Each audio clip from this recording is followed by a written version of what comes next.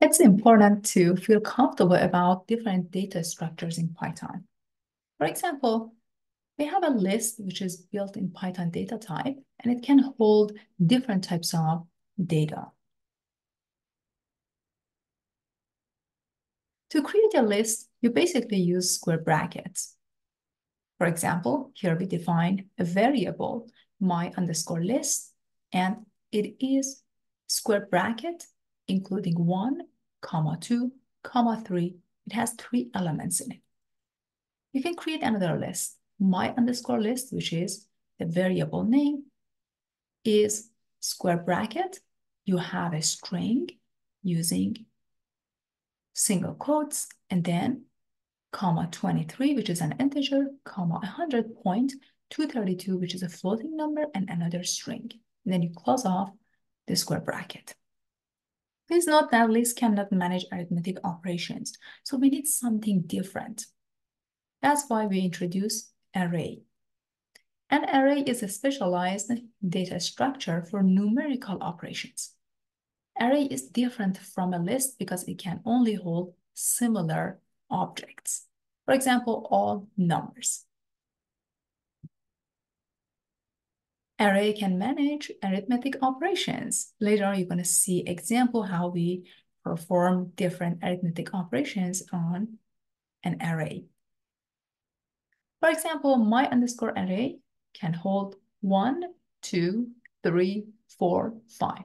So please pay attention to the format. Here, open, close square bracket, and we list the numbers and separating them with comma. While a basic array like a structure can be created using a Python list, there are differences between Python lists and arrays, especially when we're using NumPy. As you remember at the beginning of the course, we talked about NumPy library. NumPy is a powerful Python library used for numerical and mathematical operations. It provides support for large multidimensional arrays and matrices. NumPy is widely used in various scientific and engineering fields for tasks such as data analysis, machine learning, deep learning, and so on. In Python, when you import a library, you give yourself access to its functions and capabilities. Importing NumPy as NP is common convention used by Python community. It's a way to create a shorthand or alias for the library. It makes it easier to refer to it when you're using its functions. So make sure to import NumPy as NP. In statistics in data science, you're interested in answering different types of questions. For example, what is the average number of cups of coffee consumed each day over a week? So what are you going to do? You're going to run surveys. You're going to ask friends, family, colleagues, classmates, how many cups of coffee you drink each week. After you collected the data, you're going to go to your Jupyter Notebook or Google Colab, and you're going to import NumPy as NP you're going to create a variable called coffee underscore consumption, and you're going to use np.array to put the list of data into array form. np.array is a function used to create a new NumPy array. It takes an iterable like list or a tuple as an argument and converts it into a NumPy array. Then you're going to create another variable, average underscore coffee, which is np dot mean open parenthesis coffee underscore consumption, which is the previous variable you created and is basically an array. So you're basically going to find the average of these numbers. np.mean is a NumPy function that calculates the average of a set of numbers. Then you're going to display the result by typing print, open parenthesis, average coffee consumption in cups in double quotes, comma, average underscore coffee, which is the variable that you defined previously. the result should be average coffee consumption in cups, 2. So let's jump into Jupyter Notebook and check to see what's going on here.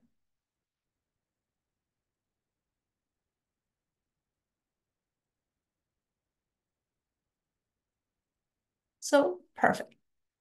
What I'm going to do first, you might say, hey, why we are not just doing arithmetic operation, what we learned before, addition, subtraction, and so on, and then display the result that way. So take a look. Here I have to take all of these numbers, 2 plus 1 plus 3 plus 2 plus 2 plus 1 plus 3, and then divide it by how many numbers do we have? 2, 4, 6, and 7. Divided by 7, and we get the result 2. But what if you have a thousand numbers? What if you have 10,000 numbers? Is it efficient to type them all this way? Is it efficient to calculate them this way? So first we're going to import numpy as np. Then we're going to create a variable which takes the number of cups of coffee and assign it to a variable called coffee underscore consumption. Coffee underscore consumption,